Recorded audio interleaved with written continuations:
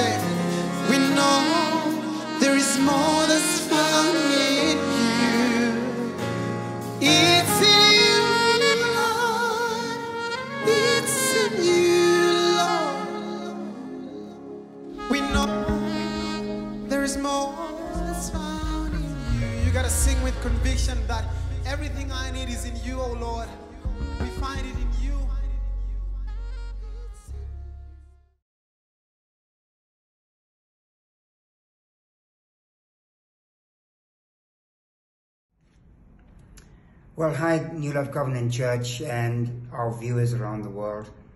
Just a real heads up and thank you to everybody for your support. There are so many individuals around the world that have lost loved ones. Uh, our condolences to you. And again, from Pastor Chin, I thank you for your phenomenal support around our, the passing of our son, Bernie. For Zimbabweans, this is a, a significant weekend and holiday. It's Heroes and Defense Forces Day. We want to remember what uh, was done in the past, the lives that were given for an independent Zimbabwe. And may everybody be safe and enjoy the peace that we enjoy in this country. We'll see you next week. We want to thank all the presenters that are presenting every week. May God richly bless you and may God reward all of you for the seeds you sow. Enjoy. Well, a very good morning, and thank you so much for being with us. I want to start by acknowledging and greeting Bishop and Ma. Um, of course, we continue to carry both of you as well as the, the broader family, Drin and Tari, Jason, Tadi, TJ, LaShawn, and Granny V, and the entire Bismark and Vahakis family as we are in this season um, of, of mourning, and we continue to pray for God strengthening in you. We greet all of you at New Life Covenant Church in Harare, and we are honored to be able to minister to you. I bring you greetings from Pastor Va our family, as well as the congregation here in Bulawayo. May God bless you as we partake of this um, service together. This morning, for a few moments, want to speak to us on a subject I've simply titled here come the dreamers. Here come the dreamers. I'm going to take three portions of reading, three portions of scripture for our reading this morning. Um, reading out of the book of Genesis, chapter 37, verses 18 to 20, and then out of um, Psalm 105, verses 17 to 23, and then Second Cor- Corinthians, um, chapter 12, verses 1 through 10. Genesis 37 18 to 20 reads When Joseph's brothers saw him coming, they recognized him in the distance. As he approached, they made, a, they made plans to kill him. Here comes the dreamer, they said. Come, let's kill him and throw him into one of these cisterns. We will we can tell our father a wild animal has eaten him. Then we will see what becomes of his dreams. Psalm 105, verses 17 through 23, and I'm, all my readings are out of the New Living Translation. Verse 17 says, Then he sent someone to Egypt ahead of them, Joseph, who was sold as a slave. They bruised his feet with fetters and placed his neck in, iron in an iron collar. Until the time came to fulfill his dreams, the Lord tested Joseph's character. Then Pharaoh sent for him and set him free. The ruler of the nation opened his prison door. Joseph was put in charge of all the king's household. He became ruler over all the king's possessions. He could instruct the king's aides as he pleased and teach the king's advisers. Then Israel arrived in Egypt. Jacob lived as a foreigner in the land of Ham. Finally, I read out of um, 2 Corinthians chapter 12, verses 11, uh, 1 through 10. This boasting will do me no good, but I must go on. I will reluctantly tell about visions and revelations from the Lord. I was cast, I was caught up to the third heaven 14 years ago. Whether I was in my body or out of my body, I don't know. Only God knows. Yes, only God knows whether I was in my body or outside my body. But I do know that I was caught up to paradise and heard things so astounding that they cannot be expressed in words, things no human is allowed to tell. That experience is, is worth boasting about, but I'm not going to do it. I will boast only about my weakness. If I wanted to boast, I would not I would be no fool in doing so because I would be telling the truth. But I won't do it because I don't want anyone to give me credit beyond what they can see in my life or hear in my message, even though I have received such wonderful revelations from God. So, to keep me from becoming proud, I was given a thorn in the flesh, a messenger from Satan to torment me and keep me from becoming humble. Three times, three different times, I begged the Lord to take it away. Each time he said, My grace is all you need. My power works best in weakness. So now I am glad about I am glad to boast about my weaknesses so that the power of Christ can work through me. That is why I take pleasure in my weaknesses and in the insults, hardships, persecutions, and troubles that I suffer for Christ. For when I am weak, then I am strong. May God bless us all by the reading of His word. And so this morning, as we begin, I just ask that, Father, you grant us grace and enable us to speak, that the words of my mouth and the meditation of my heart be pleasing and acceptable in your sight, O Lord, my God and my Redeemer. Amen. And so, when we begin to talk about Here Comes the Dreamer, the context of that aspect for me is the, the, the, idea that the kingdom of God represents the dream of God for his people. And so when we preach and when we talk about the kingdom, in truth, we are talking about something that is a dream to the people around us. By way of context, in February of 1968, Andrew Warhol's res- uh, retrospective exhibition catalog contained in there a statement that said that in the future, everybody will be famous, will be world famous for 15 minutes.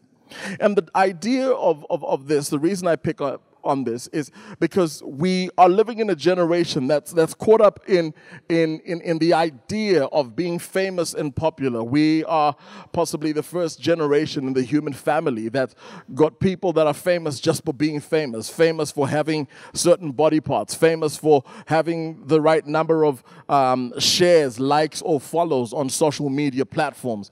And because of that, it's possible to become caught up and want to live in a single moment as if it's the totality of an expression. And so reality TV and that popular culture becomes a strong influence. And yet the kingdom of God calls us to more than just a single moment. We have to be aware that we are living for more than just 15 minutes of fame.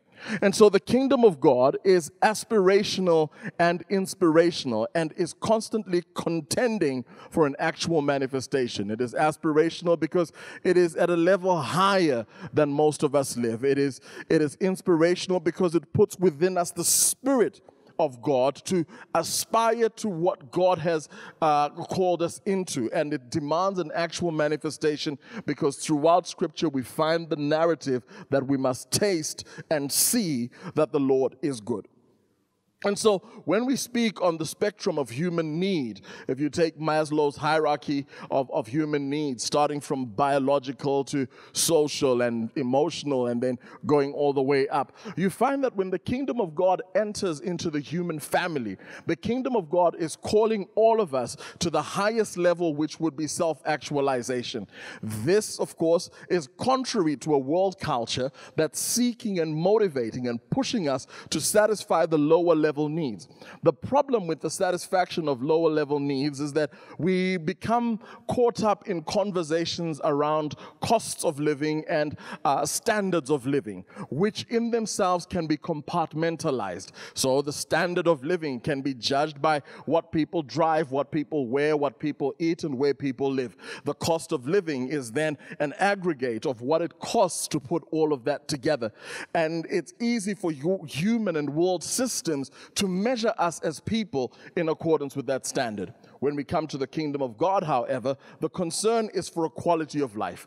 Quality of life is holistic, it, it embraces the totality of the human experience. So it's not just about the how and the what we are living, it's about the why and, and, and, and the nature of that, of that um, living experience. And so when you deal with, with world systems that are constantly looking for costs and standards of living. They can easily compartmentalize, and based on what is external, they judge and say that people are doing okay. And so, on Maslow's hierarchy of needs, you find that when the offer is to satisfy the biological needs, the challenge is that we get human beings caught up in what we call carnal appetites, because then we become appetite driven. That when people are accustomed to living in a certain way, the more they earn, instead of reaching for greater goals, they can easily change up their appetites. The, the, the, the, the, the, the appetite in meat moves from offals to certain cuts and certain uh, sources of, of, of, of, of, this meat and, and, and where it comes from. And the pursuits become very uh, mundane in their nature. And so we find that John writes to us and warns us in 3rd John that in the world is the lust of the flesh, the lust of the eye, and the pride of life, all of which are typically at a very uh, carnal, very appetite driven level. We find that in the life of David, for instance. He, when he had attained the greatness of what the kingdom was calling him to be, got caught up in a moment of weakness, and in that moment of weakness, he, he experienced the lust of the flesh, the lust of the, uh, the lust of the eyes, and the pride of life, all in a single season that almost cost him the kingdom. And so, if we take a detour from there now and begin to consider what it is that we are pushing toward. When world rulers, the, the, the, princes and principalities, as well as our natural governments, cannot, typically, they cannot conceive of a holistic prosperity. Um, and thus they formulate policies and philosophies, even religious doctrines um, that promote materialism and consumerism to try and placate the inner yearning um, of, of, of people, even though God has a higher calling on our lives. And so, as a result, world systems are crafted to contain and conform people um, to this pattern. That's why Paul says that do not be conformed to the pattern of this world, but be transformed by the renewing of your mind. And so, much like the children of Israel, people are conditioned, as Pharaoh did with the children of Israel when he dealt shrewdly with them in the book of Exodus. In the book of Exodus, sorry. In the book of Exodus, Pharaoh deals shrewdly with the children of Israel, and what he did was systematically cut off a generation of sons. When he did that, he was able to execute that plan by oppressing their fathers, putting them under heavy labor. And when they were under heavy labor, they exposed their children because they weren't on the home front to defend their children. And when the mothers lost those children, they were broken. And as a people, collectively, they experienced a collective loss and a collective grief that broke broke their spirit to the point where they began to question or even forget the promises of God that He had made to them as a people that went down into Egypt uh, as partakers of the promise of Abraham. And so the trauma of that loss broke the spirit of the people and silenced God's promises in their lives. When Jochebed, when Jochebed, the mother of Miriam and Aaron and, uh, and Moses, comes along, she then speaks to Moses in that period while she was nursing him for Pharaoh's daughter. She speaks to Moses and reminds him of the promises so that when he is a grown man and he goes out among his people and sees their suffering, on the one day he tries to bring deliverance to them by killing a, a, an Egyptian. And then the next day, when he went and saw two Israelites fighting, in his mind, because of what he had been told, he is thinking at an aspirational level for the deliverance and the fulfillment of his people. And yet, the people he was trying to bring deliverance to could not believe or think at the same level as him. And so, despite or because of their dire circumstances, justice, unity, and mutual dignity were not concepts that they attained toward. They were rather overridden by the need to survive and gain the approval of the system that was, that was forcing them into conformity. And so Moses, even though he's a deliverer, finds himself at war and in an antagonistic position with the people he's trying to bring deliverance to. Because when you are pursuing the promises of God, many times, even the people you are trying to help are so caught up and wrapped up in the dysfunction of this world that they can't see what you are offering. And what you are offering, what we offer from the kingdom, is, is, is as a dream to them. And so the circumstances of Moses' birth, his preservation and nurturing were all designed to, to, to make him a nonconformist. Everything he went through was shaped in such a way, orchestrated in such a way that he could not conform to the Egyptian pattern of what was going on around him. And many times you and I feel out of place in the places where we are, in our workplaces, in our schools, even in our own families. We feel out of place because the conversations, the exposures, and the things that God has put in our spirits make us nonconformist to the world around us. So we find that all of these things predisposed Moses to, to, to, aspire to a higher ideal than the rest of the people. For the rest of the people, they were quite content to just leave Egypt physically, but they weren't content to deal with what Moses was processing in conversations with God, where God is speaking to him concerning laws and precepts and ordinances that would order and change their way and circumstance of life. And so we now come to the seasons in which dreams are released. There are three, in my mind, or just for the purpose purposes of this presentation, uh, three seasons in which dreams are released. Firstly, there's seasons of restlessness. Uh, these can sometimes lead to, to nightmares, where uh, Job speaks in, in chapter 33, uh, verses 14 to 16. He says, For God speaks again and again, though people do not recognize it. He speaks in dreams and visions of the night, when deep sleep falls on people as they lie in their beds. He whispers in their ears and terrifies them with warnings, which signifies that these are moments where, even though the body may be seeking to rest, rest. The mind hasn't rested. And so you wake up, you're still tired. You wake up, there's anxieties and, and, and things of the sort because those are seasons of restlessness. We pray that those would not be the dreams that characterize our lives. The second season of dreams is a season in the night again of rest. It's in a season of rest where, much like the whole world is in this global pandemic now, it feels unnatural. It feels uncomfortable for us as human beings to be shut off and suspended from our normal social and, and, and, and, and, and uh, business activities. And yet, it's a season in which God could be speaking to the world collectively and His church in particular and saying to us, rest and think and consider. Solomon says in Ecclesiastes chapter 3, I'm sorry, chapter 5, verses 3 and 7 he says there for in a for a dream comes through much activity and a fool's voice is known by many words. For in the multitude of dreams and many words there is also vanity but fear god. And so the idea is that in all the trying to catch up in all the trying to make a plan of this season we have to be mindful that God in this night season of the earth could be speaking to us and is speaking to us. We heard Bishop say in the month of April that he saw God press the reset button. That should signify to us that God is setting up a new order. And we have to be mindful and thinking, what could that order be? What could God calling us to? Surely we don't go through a reset to go back to what we were before.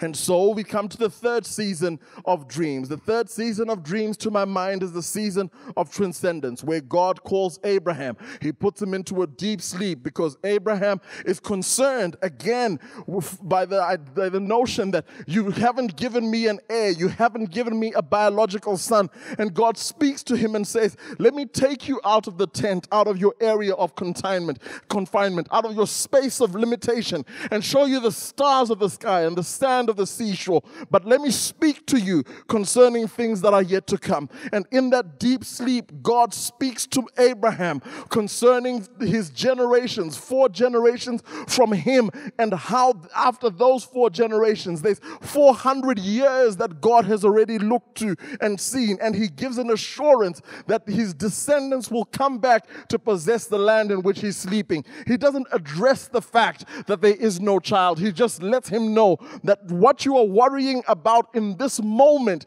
is nothing by comparison to what I have already seen concerning future generations that will be born from you. This is the same dream that this is the same type of dreaming that God uses when he speaks to Jacob. When Jacob comes to the place called Luz, which he later changes to the name of Bethel, because it is at Bethel, at Luz, that God speaks to him. And he speaks to him again concerning his generations, concerning his descendants, and how they will possess the land in which he's sleeping. And yet, like us, like me, Jacob wakes up and he's concerned to God despite all the big things that God is talking about. Jacob's chief concern is to say to God, if you would look after me, give me clothes to eat, uh, sorry, clothes to wear rather, clothes to wear and food on my back, then I will serve you. And again, it shows how it's easy for us when God is speaking in moments of grandeur, of big dreams, that we reduce him to the place of our need and confine him to the constraints of what we are going through.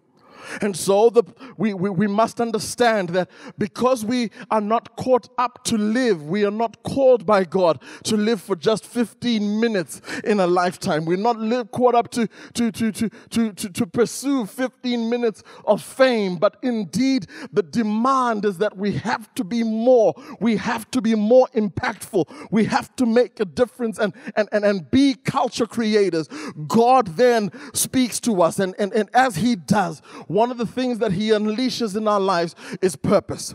In, in, in, in, over time, my thinkings around purpose have, have moved a little because many times we've set purpose as a destination, purpose as a place to which we are going. And yet, when we read through scripture, in one reading in particular that I will use for the purposes of this presentation, we see purpose is defined according to the book of Romans, chapter 8, verse 28. He says For we know that God causes all things to work together for good, for those that love him and are the called according to his purpose. So when God unleashes purpose, our thinking has to to my mind, in my mind, my thinking around purpose had to shift because for years, purpose was always a destination. It was always a, a, a place to get to. And yet, when we, ru- when we read, for instance, Romans chapter 8, verse 28, which says that, For God causes all things to work together for good to those that love him and are the called according to his purpose. The Greek word purpose there is the word prothesis, from which we get prosthesis or prosthetics. And a prosthetic Aesthetic is typically, in, in very loose definition, is, is, is a, a, a, a, piece of technology that is added to a body to enable it to function. Most commonly, we find that prosthetics are given where people have lost limbs, uh, whether uh, legs or, or arms, and a prosthesis is, is just that arm that, that, that, that enabling them to, to, to find balance and functionality. It's an addition to the body. And so when God releases purpose in our lives, it's not so much for us to get to it, but it's to enable us to get to where God wants us to. Paul speaks of, I press on to the high calling of God in my life. And it's the prosthesis, the prothesis of God, the purpose of God that enables us to keep pressing on because we know that He is working all things together for our good. The word prothesis also is pictured in that particular context in the book of Romans as the table of showbread, the, the, the loaves that were set on that table, representing the idea that God, by his purposes, sets us on display to make known his mind to the world. And so when we're speaking of dreams, we are speaking of that level of, of, of, of function where God is putting us on display. Ephesians chapter 3, verse 10, Paul writes and says that for God has, desi- has desired or decided determined that the church is to make known his manifold wisdom to principality and powers. So when we speak of the idea that human governments and uh, spiritual principalities are limited, in their scope of understanding of what man is. God is using you and I as the church to display his manifold wisdom on so many different things.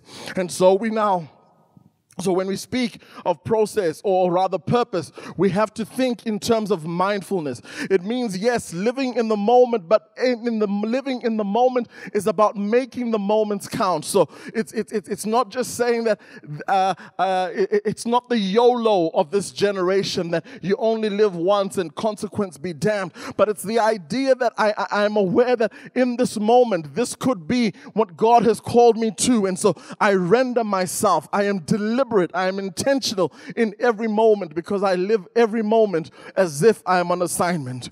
We find that in the life of Joseph, even though he knew he had a dream, even though Joseph had dreamt these wonderful dreams as we've read um, in scripture, Joseph never, when you actually look at his life pattern, Joseph never actually worked out or, or, or, pushed for the fulfillment of his dream, but he lived it out by interpreting the dreams of others. And as the dreams of others came to being, Joseph's own dream materialized. He interpreted a dream for the cupbearer, where in, in, in, in that season, when he interpreted it, he expected, and many times this is what we do, he interpreted a dream for a man that would restore him to his function and, and position in Pharaoh's court, and he put his hopes in the fact that this man would remember him. May we stop waiting for people to speak well of us, knowing and trusting in God's seasoning and God's timing. And, and when God did remember Joseph, when God did remember Joseph, it was two full years after he had interpreted the cupbearer's dream. Why would that be? Is it possible that if Joseph had been released two years before, before Pharaoh had had his dream, Joseph would have been released from prison. And instead of being in Egypt when God wanted him there, he would have made his way back to Canaan to be reunited with his family. May we trust God for the seasons of our lives, knowing that even though we don't see the manifestation and the fulfillment of what he has called us to just yet, of the things he has spoken to us, that we would be patient to wait and trust on his timing. Joseph interpreted the baker's dream. The baker's dream was not a pleasant dream, but the scripture told us that God was working on Joseph's character. Because if you and I are going to dream the kinds of dreams that shape nations and build systems, there are going to be seasons where we have to give some unpleasant interpretations to someone. And it's an, it's an issue of integrity of heart to just speak truth in love. Because when Joseph told that man that he had three days to live, that man was able to set the affairs of his life in order. And so Joseph, even though he's giving bad news, is able to represent or present this man an opportunity to set up the affairs of his life as he's going to be terminated. And of course, Joseph then interprets Pharaoh's dream. It's in the interpretation of Pharaoh's dream that Joseph comes to the fulfillment of his own dream in interpreting Joseph's dream, our prayer, Pharaoh's dream rather, our prayers should be that we don't only interpret, but that we also are given strategies for implementation. Because in the interpretation of the dream, Joseph gave a strategy for implementation, and ultimately it was the implementation strategy that gave him promotion and access more than just the interpretation of a dream. And so, when we look at how all of this plays, David in his life is, is, is, is called and he serves the dream of Jesse, his father looking after sheep. He, he serves the dream of Saul as a personal minister, as a general, a commander in the army. And ultimate, and then he, when he connects with Samuel while fleeing from Saul, he serves Samuel's dream because it's Samuel who puts in Joseph's heart, in David's heart rather, the passion and the desire for the Ark of the Covenant, for the tabernacle of God. Together they organize and set what Solomon then builds as the order of worship in what we call Solomon's temple. David then, because of his desire for the manifestation of the kingdom in this way, was able to release and, and, and engage in wars that ensured territorial expansion and built a governmental order to live beyond himself as a setup for his son's fulfillment in the what he was, what he was being called to do. And so when we talk about the timings of a dream, to my mind then, when we talk about the timings of a dream, again, the, the timing of a dream also requires that we be mindful that the time we have the dream may not be the same time as the fulfillment of the dream. So the context of where we are when we are dreaming, Joseph dreaming when he's a shepherd boy, Joseph dreaming when he is the second youngest of, of the 12 sons of Jacob, uh, and, and all he has is a, a, a, a, a, a pastoral uh, lifestyle around him. He dreams a dream that the whole system around him interprets in the moment of the dream. And so rather than realize or recognize that God could be calling them to something greater, Joseph interprets his dream with an expectation that his brothers would bow down to him. His father even challenges him and says, Do you think that your father, that me, your father, your mother, and your brothers will all bow down to you? And yet the time of the dream was while he was in a pastoral, uh, a, a shepherding environment. And yet the fulfillment of the dream comes when he is now in the palace. And the fulfillment of the dream was no longer just 12 shepherds bowing down to him, but it was entire nations where he had dreamt of the sun being his father. The sun that, that now bowed down to him was Pharaoh, where he had dreamt of the moon being his mother. It was an entire system of, of, of, of Pharaoh's court, all of Pharaoh's aides that were now the moon that bowed down to Joseph. And when the 70 souls came into Egypt with with, with Jacob, it was nations that bowed down for him to feed and sustain. So you cannot judge, you and I cannot afford to live this moment, to, to judge the dream that God has given us by the moment in which we are living. And so, while we are working this process out, we then have to understand that when God speaks concerning dreams, and the last reference I'll use, he uses the book of Joel. He speaks to us in the book of Joel. And Joel says to us that, that, that, that, that, that in, after these things, I will pour out my spirit upon all flesh. And when we read the this things list, the, the, the, things that are spoken of is the season of trial and affliction that Israel and Judah would be taken into. And then after that, there's a season of restoration where the cankerworm and the palmer worm and the various locusts, uh, what was consumed by them, is restored. And then he says that after the affliction, after the, the restoration, then I will pour out my spirit. And in that season, that's when your sons and daughters will prophesy. To, to prophesy is to, to speak um, by, by inspirations, to make known the mind of God. Throughout scripture, there's an application that, that connects this with, with a certain musicality. And so to, to, to prophesy has to do with the release of a sound, it's the release of a new song, the release of, of, of, of something that gives inspiration. Saul prophesied also with the prophets, and God gave him a new heart because there's something about speaking and releasing the sound of heaven that changes the condition of our heart.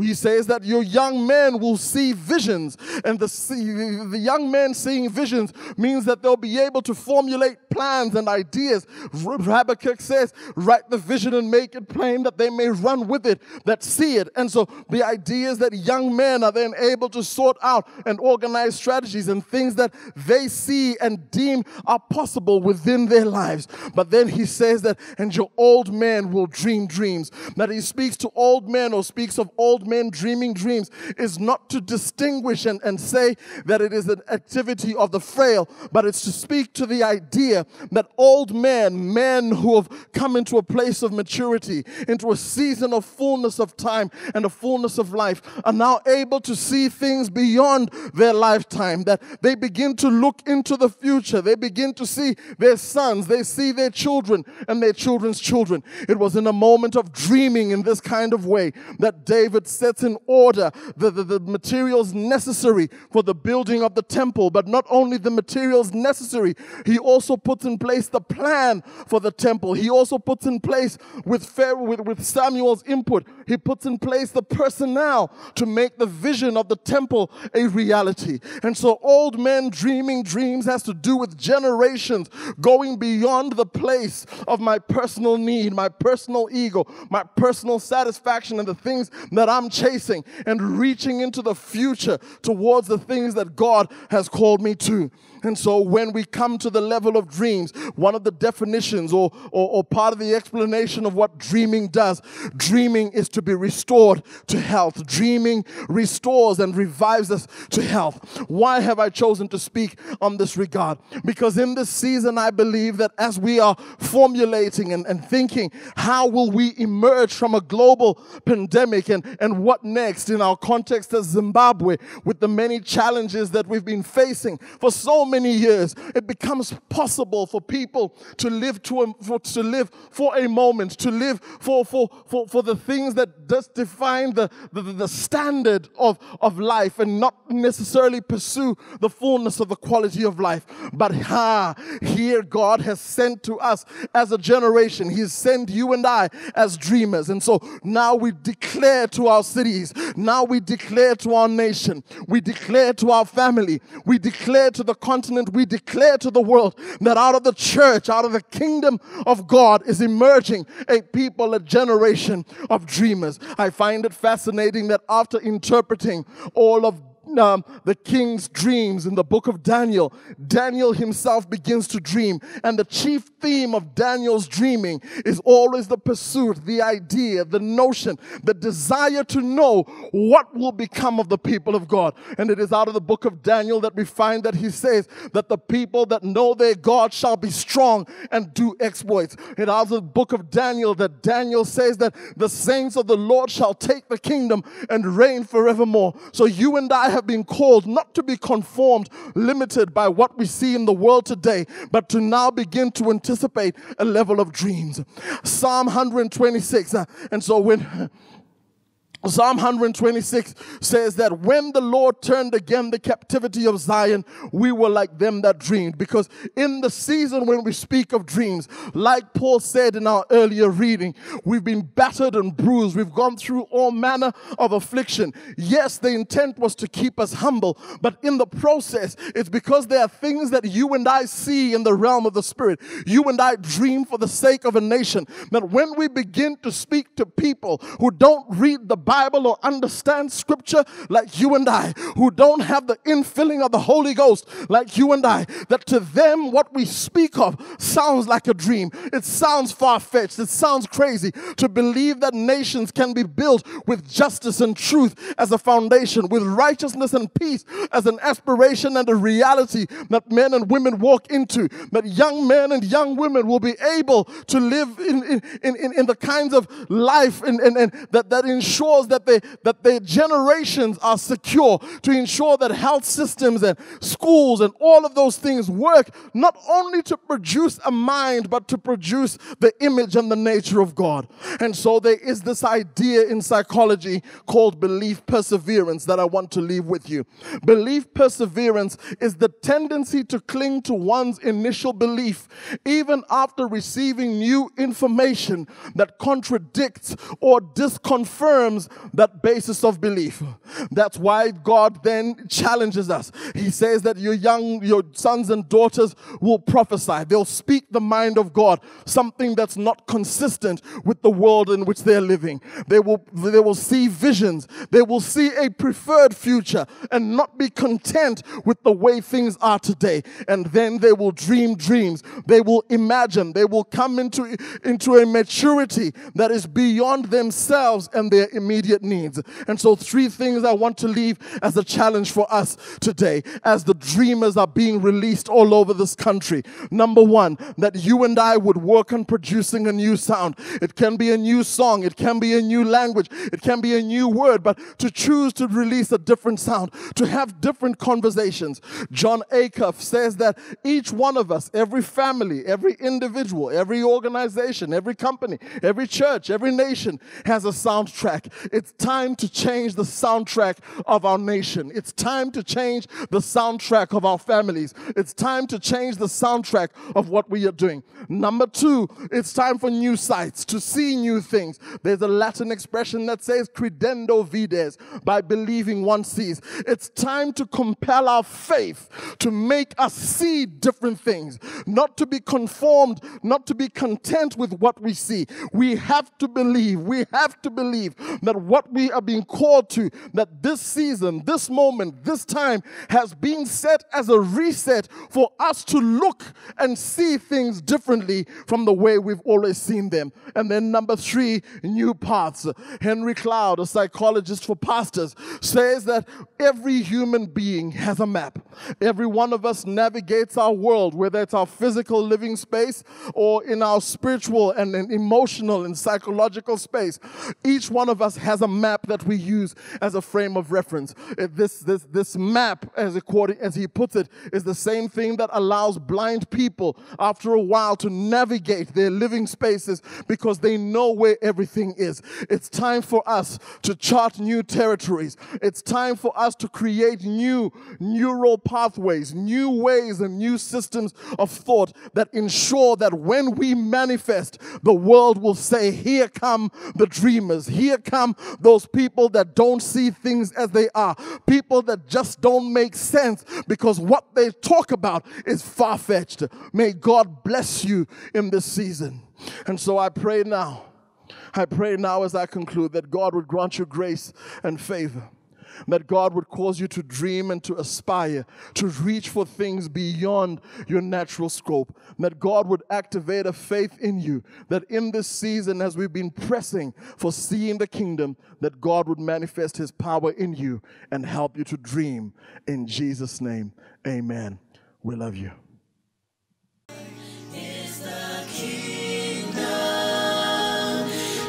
the